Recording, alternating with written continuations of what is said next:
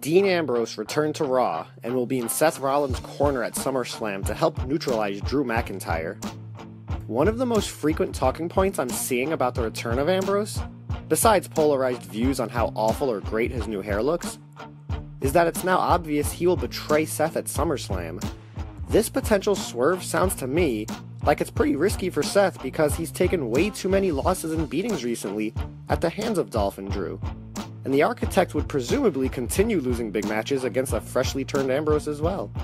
The ideal booking here is simple.